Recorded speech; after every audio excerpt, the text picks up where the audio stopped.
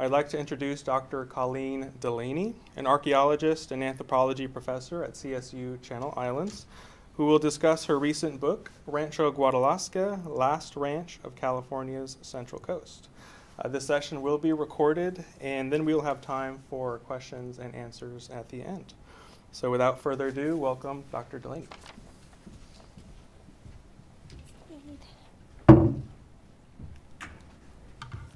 Clicker. Do you have the clicker? Sorry. Can you guys hear me all right? Okay, I'm vertically challenged, so. Thank you. All right, thanks for joining me today. I'm going to talk about uh, Guadalasca. First, many people might ask, what is a Guadalasca? I believe it's a, and talking to some linguists, it's a Hispanization of a Chumash word. So Guadala, think, think Guadalajara. So Guada from Wadi, from Moorish, meaning canyon, or and then La, and then the ska at the end. The Chumash word most likely for sycamore because sho, I don't think I got that right. Sho is word for sycamore and sometimes Guadalasca is written in the old records as Guadalasco. So actually, I think it's Sycamore Canyon, which is appropriate because that is the southern boundary of the ranch. So just to get us started.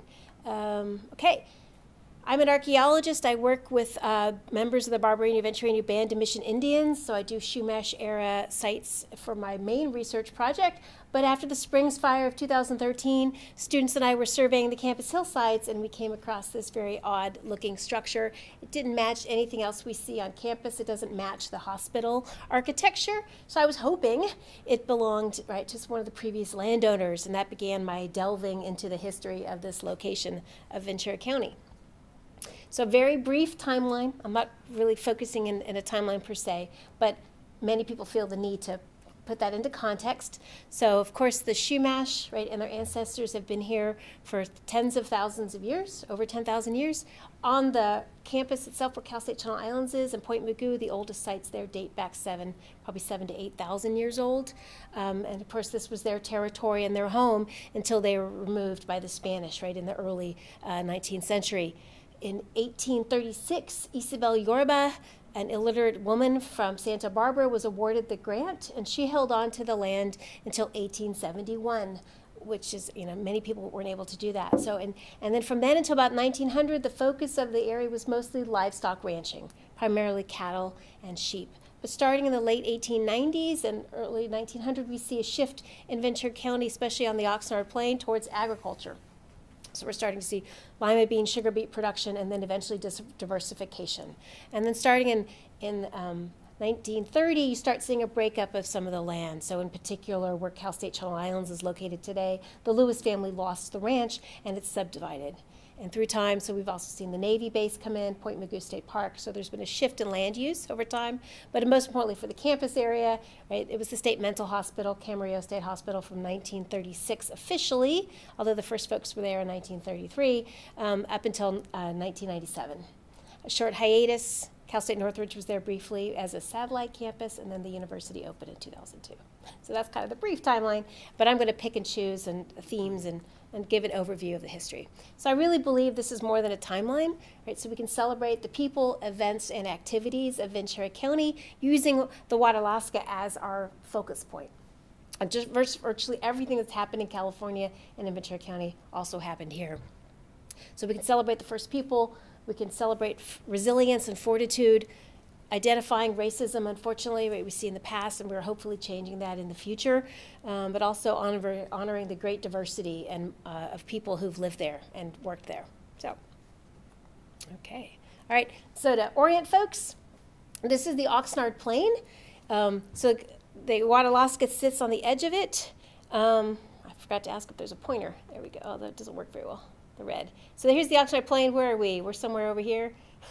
Um, so the Guadalasca is this southern southeastern portion. But most importantly, what a lot of folks don't realize, the Oxnard Plain has no running water. Unless it's raining, there's no running water. It was a 1% grade, and the only place you can find fresh water are where there are lagunas or springs. And look at that southeast side where all those blue and the aqua is. That's where there's all fresh water. And there's a few other spots, Polnum uh, near Oxnard, right? There's a few other spots throughout the plain. But in general, until Anglo Americans came in and channelized the various areas, there was no water. And that's important because that dictates where people are going to live. Right? You need access to fresh water. So, from an uh, Chumash perspective, uh, for their history there, the south, southeastern Oxnard Plain in particular is very important because that's where we have a multitude of freshwater sources, freshwater uh, marshes with access to basketry material, for example, and also it's at a crossroads. It's at this intersection between inland areas and the coast. So where Cal State Channel Islands is located today, Point Mugu State Park, that really was a very important part of the area for the Chumash, and in particular, all those blue dots are some, not all, of the archaeological sites we have in the area, and in particular, the sites are occupied more recently in time the closer you get to the coast. So there's a shift through time in the orientation of the Chumash. First, they're focused more inland and in wider areas. Then, once the tomol comes in, they're focusing on the coast and long distance trade, such like that. So that red dot roughly represents Muwu, uh, which is the historic village, and that's how Point Mugu gets its name. And I forgot, I always tell my students, uh, let me know if I'm speaking too quickly. I get very excited about topics, and, and then occasionally I go fast. So, so again, Muwu, the historic village. Um, many folks are unaware that the native Californians didn't have a political system the way we do, so each village is completely politically independent of each other. So it's really that's why there's so many bands and tribes today because you're talking to an individual village, you're not talking to a whole region. But the Chumash, uh, culturally, linguistically, uh, are the similar peoples who live between San Luis Obispo and Malibu today. So that's how they're linked. But if you could say there was a quote political capital, Muwu at the time of European contact, the uh, Antap uh, individuals there controlled the religious calendar from Uh, about Santa Barbara to Malibu. So they told people when uh, when ceremonies were going to take place. And there was a there was a loose confederation of villages between some of the mainlanders and some of the islanders called Lulapin, and that seems to have been, quote, centered at Muwu. So again, bigger villages elsewhere along the coast get a lot of the attention, but I like to pull us back into Ventura County that we were a very important spot right there. And for example, Cabrillo came sailing through right in the 1540s. Oops, sorry. I'm going the wrong way. Okay. The Chumash, as I mentioned, right, were removed from their own territory, but we do have um, documentation and oral history of Chumash individuals who still stayed in the area working at the ranches. So, for example, in the middle of this picture, Cecilio Tumamait worked on the Broome Ranch, um, and his one of at least one of his children was born there. That's his wife Maria. Um, and we know there were settlements at Saticoy and Ventura, for example. There is a map that talks about where the Chumash workers lived uh, on what is today the campus um, as well. Um, but today at Cal State Channel Islands, we acknowledge and honor, and we're um, happy to help and work with the Barbareño Ventureño Band of Mission Indians. I'd like to point out currently the, the university does not have a land acknowledgement, and we do that um, with purpose. The, our, the Barbareño Ventureño tell us we don't want a land acknowledgement if it's just empty words. So the actions that we are doing right now with, with the BV BMI are we're helping to restore the trail up to Satwiwa, which is the uh, English speakers call Round Mountain. It's a sacred mountain to them. It's a place of healing, uh, winter solstice activities. So we're helping restore the path so that they can re-engage right with the mountain. So resilience, of course, I could talk about the Chumash as far as resilience, but I like to highlight Isabel Yorba for that category, so to speak. Um, again, she was the original grantee, awarded in two parcels in 1836 and 1837, over 30,000 acres in size. And she was a woman, she was illiterate, right? And when so many folks lost the ranch, she held on to it, right? Um, a lot of text there. I'm not going to read it all. But basically, she came from a proud California family. Her father was one of De Fages's volunteers. her mother walked from Mexico at the age of eight on the De Anza expedition. Um, her mother was his second wife, um, but so in, in total they had 16 children. Um, Isabel was the oldest girl, but like as I said, like none of the girls were educated, so she's illiterate. So there's very little we know about her firsthand. We, what we know comes from court documents, and there are some letters that she obviously dictated to somebody, but we don't have letters that she wrote. We don't have journals, things like that. But I just love to, that's why I talk about resilience. She's married at 15 and a half with a double wedding with her 13 and a half year old sister. The day after she turned 17, she and her, I mean, uh, her daughter's born a day after she turned 17, and within the month, the family is at Santa Barbara, where her husband was transferred as an officer in the Presidio. Their only biological child, uh, Manuela, died at the age of 11. Um, and so this really puts her in an awkward position because you know her goal and her, her job in life was to raise a big family, right, and be there. But she doesn't have that biologically. She comes from this huge family, um, but she had many adopted children and godchildren, so she's taking care of the children of her godchildren, nephews when her sisters had died. So she has this extended network, and she's fulfilling her societal role. So again, I like to point out we, we can judge, as an anthropologist, we judge people, I think, sometimes by the culture in which they are raised. And so, so while we know the Chumash were badly treated by the Californios, this was the way she was raised, right? And she was acting in what was culturally appropriate at the time. But her, her husband, good soldier by many accounts, except for when he was drunk.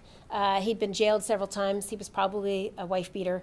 Um, and he was elected to Congress in Mexico, but died there. Um, and so, what is she to do at this point? She's um, at this point she's approaching 40. She's got these family members that she's caring for, so she applies right to for the land grant for Alaska. So this is the general land area.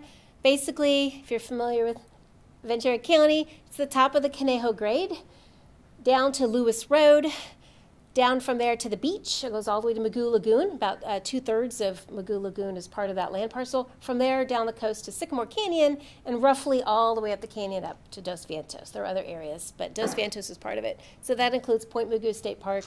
Um, yeah, Dos Vientos. I'm trying to think what else for highlights. The big quarry you see from Highway 101, that's all part of the land grant. So. Um, and so she petitions for it. She, you know, she says, "I've got 500 head of cattle. I need somewhere to put them." The priests of San Buenaventura say no. And why do they say no? La Laguna, the freshwater pond that was what is today Cal State Channel Islands. They said, nope, we need that for our cattle. And she's like, nope, I can't have it without it. So they awarded her all of it except the flat land where the freshwater is. She appealed, and the next year she was granted the rest of the parcel. So, really smart. So, success and again, we have very little record, but over time she had several mayordomos, which in California in the, in the ranching days, the mayordomo is in charge. Nobody second guesses him except for the landowner. But some of them were her, one was her, uh, was married to her goddaughter, uh, brother to one of her adopted girls. Dominique Ab- and I don't speak French, Dominique Abade uh, owned a, he and his brothers owned a mercantile in Santa Barbara, so he married one of the adopted daughters. So he was foreman for a while. And then most importantly, which I'll talk about in a minute, but in 1860s, Patricio Bonilla um, was hired as the mayordomo. So again, we don't know a lot, but for example, when she was applying for federal recognition by the U.S. government, one of her mayordomos gave testimony to the to the land case uh, court. So that's what we know.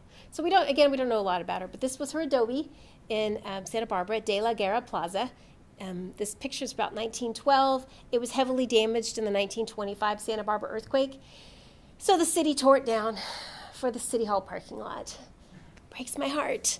Um, and also, if anybody's familiar with the art scene in Santa Barbara, her adopted granddaughter's husband was Alexander Harmer, a famous painter, and so it was used as his studio there in, in the 19 teens, the 1920s.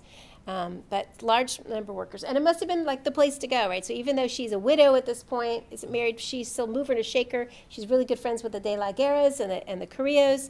So um, know, she redoes her parlor with paintings of Pompeii with plaster. And so for $15 a month, city council meetings were held in her office. One of the De La Guerras, Justice of the Peace, had his office in her in her area, and she even served as a polling place, which I think is great because she wasn't allowed to vote, but it was polling place. So she's the center, right, the center of the area there. But as I said, this is where the resilience comes in. She had to fight for that ranch. Right? Only about 25, 30% of the land grants were owned by women. right?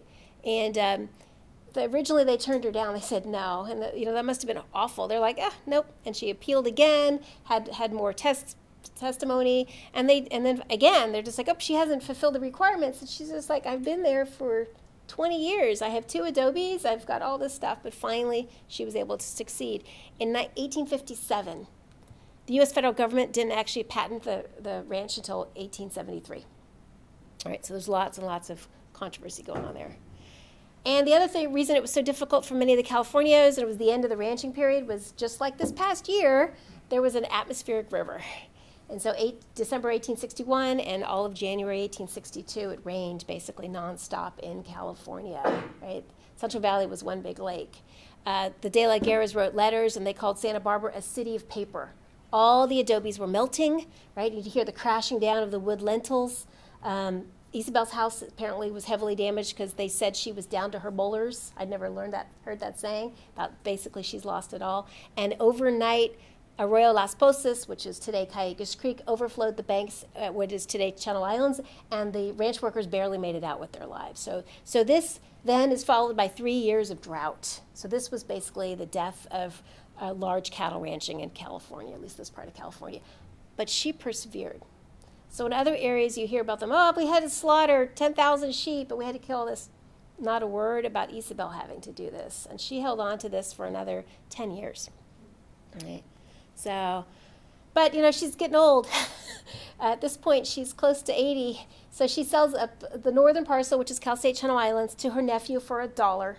Uh, she sells this uh, two parcels at Mugu Lagoon uh, for eight, uh, for sorry, for five hundred dollars, um, and then the southern portion was sold to a group of businessmen in 1871, um, and to a group of businessmen. and then finally um, Hollister owned it for a while, and then finally William Richard Broome. So it's been in the Broome family since 1880. There. So, but again, she managed to keep it all, and even though she sold that southern parcel for twenty-two thousand dollars, right? Uh, she, yeah, she, her, her, all of her land ownings were only valued at $14,000 the year before. So she was very shrewd. Um, but she left $25,000 in gold to four of her adopted daughters and the Isabel house. She dies less than a month after she sells it. So I've seen the court the testimony. They had to say that she was of sound mind because she died within a week of her finalizing her will. And they said she's she was just very frail, but she was still there. She died at the age of 82. So as a she was a citizen of Spain, Mexico, and the United States. Right. But related to the resilience, there's also tragedy. So related to Isabel, um, this is her adopted daughter, Felicidad Abade. Felicidad. Um, in May of 1868, her neighbors, the De La Guerras, had a family, the Bonillas, living with them, and she hired the father to be her mayordomo. He was 65 years old. He has a roughly a 22 year old son, an 18 year old son, and much to my chagrin, as always, a daughter of unknown age or name apparently not important enough, right, uh, to be documented.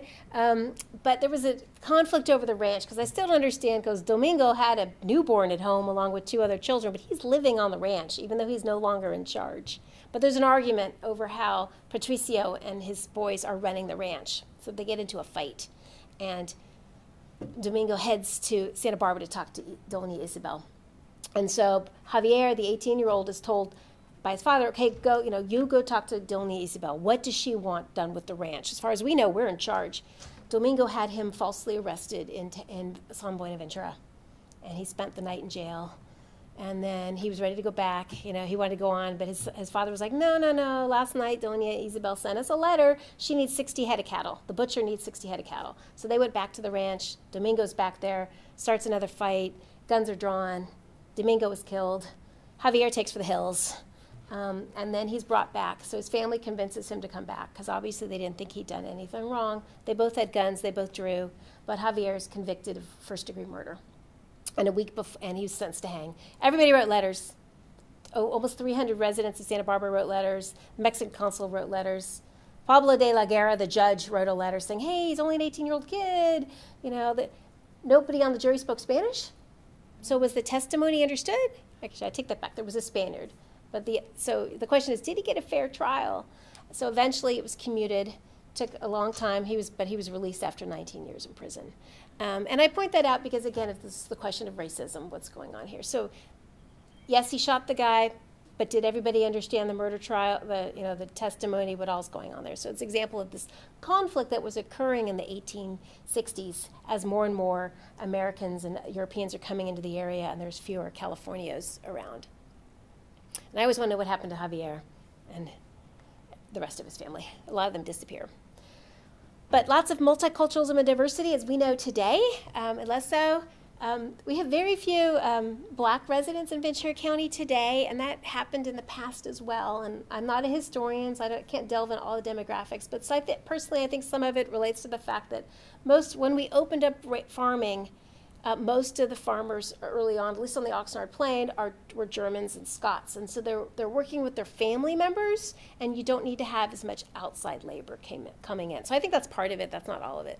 But I bring that up because I love this picture. That's the, um, to me, it appears phenotypically, right? Physically, he looks black. That, I think that might be John Mangley, who was in 1920 was a black ranch cook here in Ventura County. Um, but that's from the Lewis family. Um, we have Japanese sugar beet workers. Uh, these folks here, this is a famous photo. Everybody knows this one from the Maulhardt Ranch. But we had sugar beet farming right around um, Round Mountain, and in particular, uh, Japanese farmers themselves. So I like to point out they're not just workers in the fields, they're also the farmers themselves who are, who are running things. And in one case, the wife also worked in the field. So there were women in the, in the fields as well.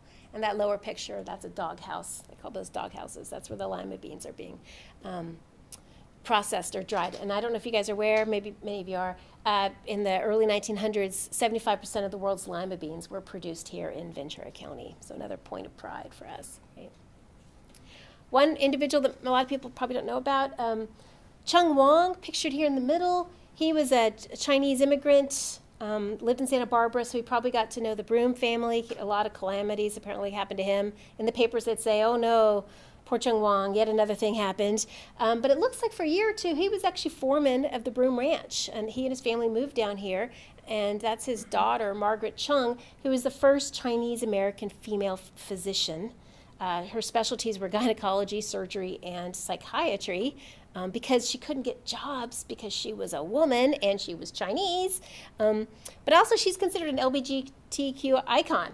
Um, she went by the name Mike, and she wore masculine clothing while she was in medical school. So she's in this the front row. That's when she was a sophomore, and she was actually there at a time when actually you weren't required to have a college degree.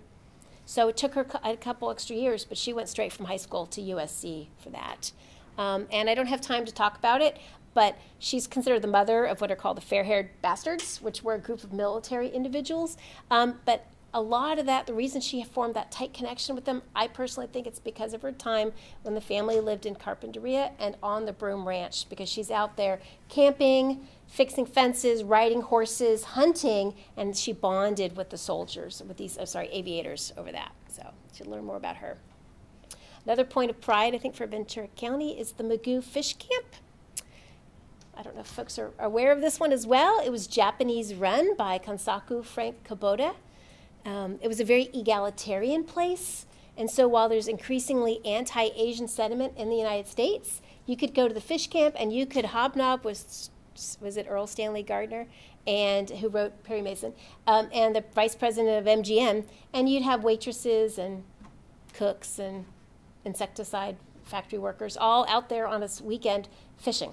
Um, and so Kansaku ran it from about the 19, late 19 teens until 1936. He built it up, and then and it was leased on those two parcels of Mugu Lagoon that Isabel Yorba sold. Um, and then he went late. He's in his late 40s.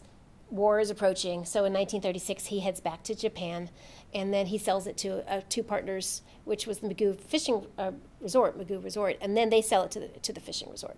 Um, but multi um, cultural. Uh, that fishing boat, most of those uh, guys are from the Azore Islands, so Portuguese fishermen are helping out, Japanese. So Papashima here at front, uh, that's a famous image by Lionel, Lionel Barrymore of him mending nets. He and his wife were sent to internment camps right at World War II. And I love the size of that fish. That's Marguerite Wilton. She was one of the later owners. Now, my understanding is this is called a Jew fish not religiously annotated, but because it was a jewel, so a jewel fish shortened that way. So, um, so those are kind of some events, and also our Jewish population are, are, here in Ventura County. So a lot of folks don't know the northern parcel her nephew, who got it for a dollar, and uh, he's in the census records, so he actually was up here trying to make a go of it. He had to sell it to Kalischer for a $5,000 debt. But Kalischer Japan, a Jewish businessman from LA, was very, I think, kind. It's in writing in the deed books. If he and his wife could find a buyer, they would have paid him $3,000 back instead of the five.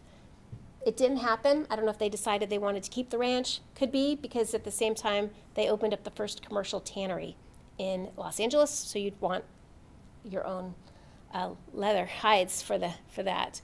Um, but Wartenberg dies suddenly, uh, and so Kalischer I think is forced to sell because everything was tied up in partnership. And then who's it buys it? Louis Sloss and Louis Gerstle, two Jewish businessmen from uh, San Francisco who are famous in their own right. You could go look at them. They founded the Alaska Commercial Company. Um, but they hold on to it. Both the gentlemen die suddenly, or not suddenly, apologies, uh, coincidentally, in 1902 and the wives hang on to the property again for a few more years until 1906. Um, they, they married sisters, which I think is very interesting. And actually, their other business partner married a sister. They all they were all sisters from the same family. Um, so again, an, another aspect of uh, our heritage here in Ventura County that many people don't think about, right, is our, our Jewish pop, uh, residents and populations. And then another theme I like to talk about is connecting the region. So these are all some topics I'm going to briefly talk about. Um, in the next few uh, slides, but transportation. So the tomol, right, is, it's the Chumash are famous for their tomol. It's one of the only planked, wooden plank uh, canoe structures in the Pacific. The only other one uh, on the west coast is down in Chile.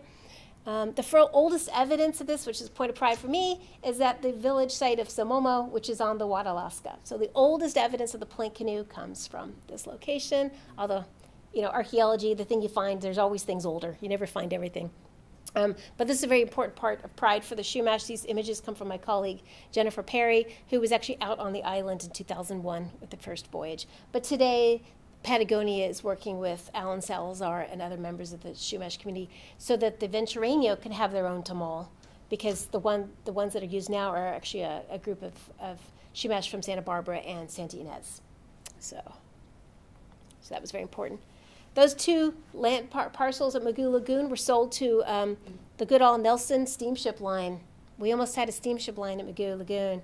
Um, then it became with Perkins as a partner, and then they reorganized to the um, Pacific Coast steamship line. So, but it, but it didn't work, and I don't know if it's because the land around there was too marshy, you couldn't actually get good access, or it could be that within two to three years, the piers at Ventura and Hueneme were built, and so they could have, you know, not gotten there in time. Um, and then the other slide, I love this one. A lot of folks are unfamiliar with the U.S. Coast Survey.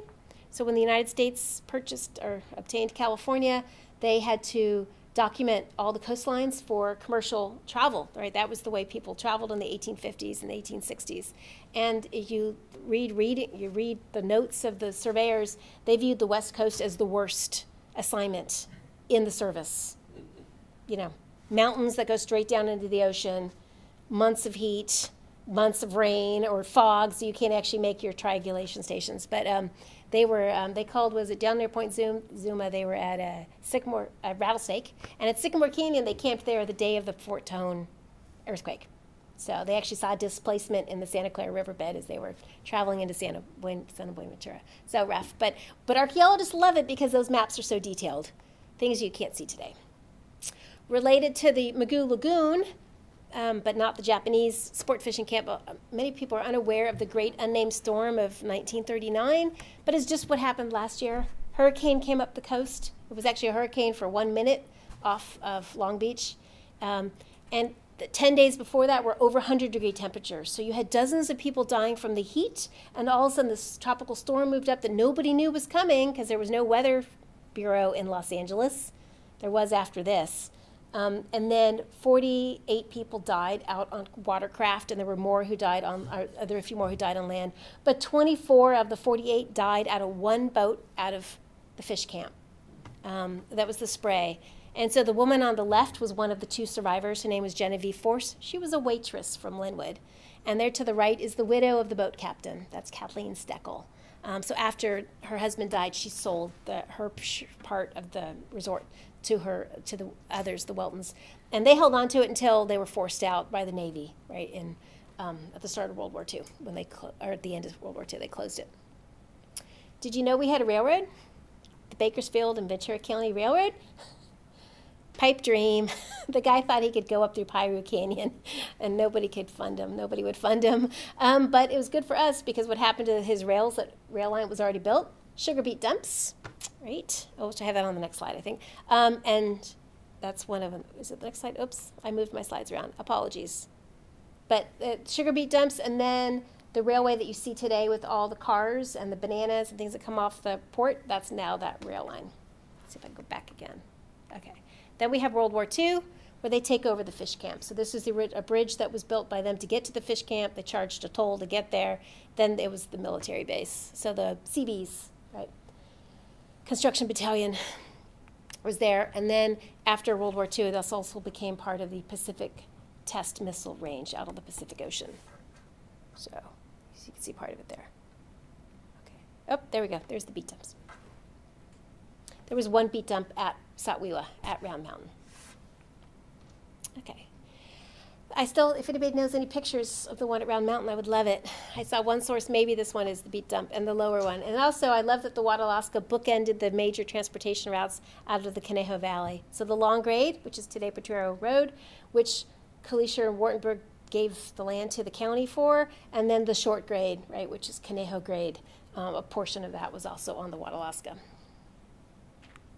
Oops, wrong way, wrong way.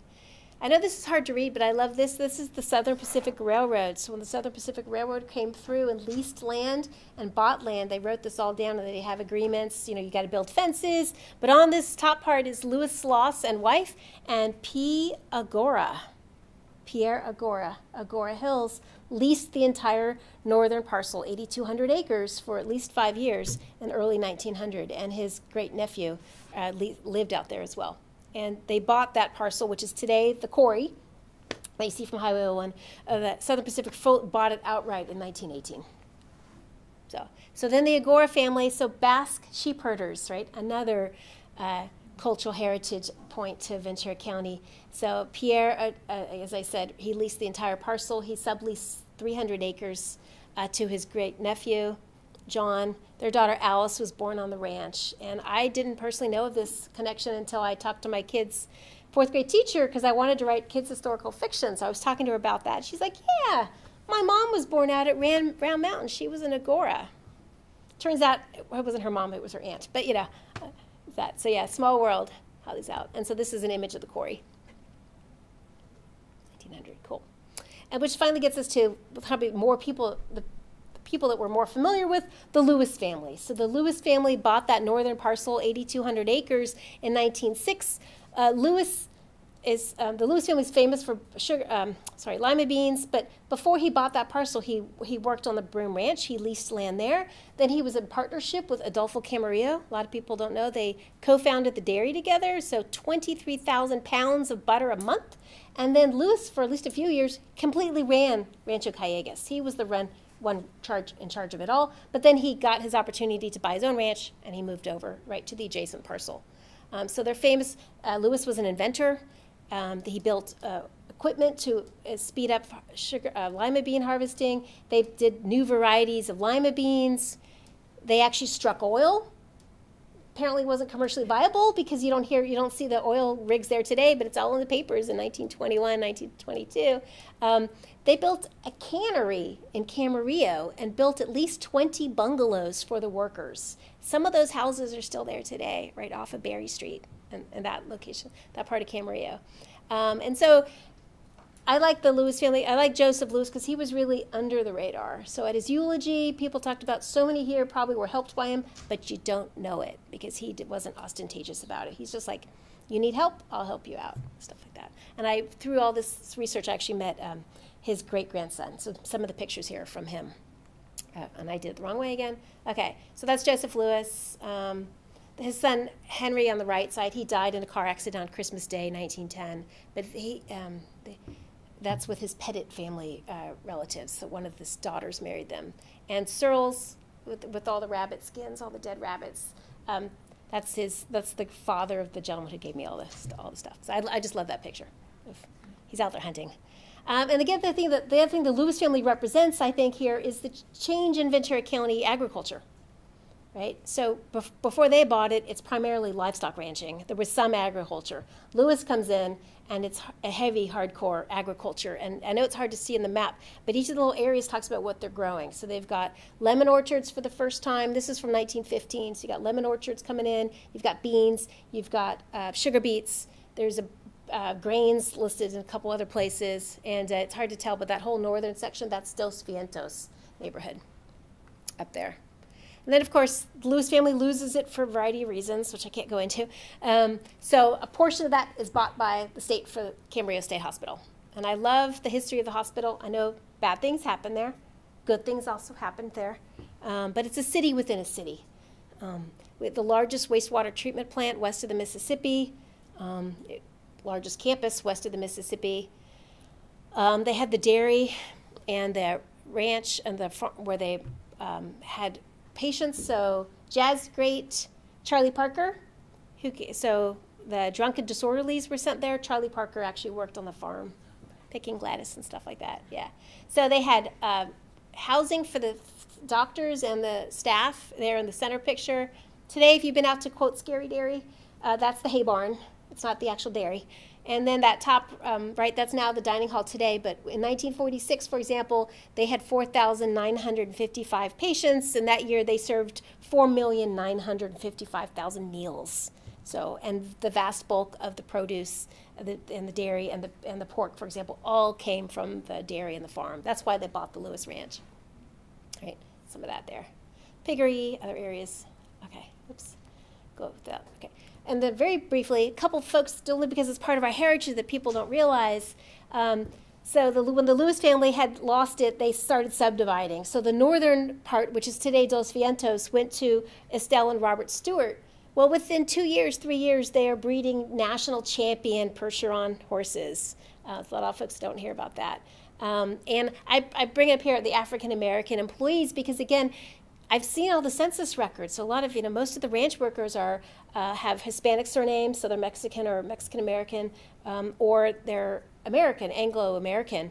But it's starting at this time period in the 1930s that you start seeing more black, and I, I, I go back and forth between African American and black, but right now it seems like people prefer black. So you see more. Um, blacks coming, residents coming into the county from Los Angeles, right? And, and I think it really increases after the Navy base, right, after World War II.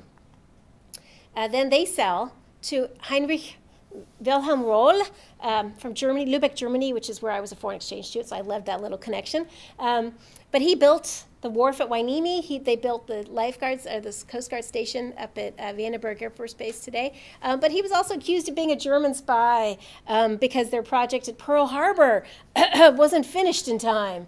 Um, he was exonerated, it, but uh, there was other things going on there. But I just think it's funny. So it, again, a connection here, and then they sell to Malcolm Stewart Clark, who worked with Henry Ford, and he, he's famous for couplings, including some that are up on the space program. Um, and so he and his family held on to it uh, for a few years. And then finally, the, he sells it to Orville Lee Jaggers, who was an evangelical preacher and who claimed he had $8 million in reserves, but yet defaulted within a year and wasn't able to pay his bills. Um, and that's one of the reasons why that Dos Vientos was so long to get developed. It was because there was fighting over the property. So anyway, I just wanted to pull out a few. I just think it's kind of ironic that he wanted to build a holy city in Dos Vientos area back then. Uh, so, and then of course Cal State Channel Islands, which I'm proud of being there. I've uh, I've been working. This is my 17th year at, at, Cal State Channel Islands, but I've been involved with the campus since it opened. Right.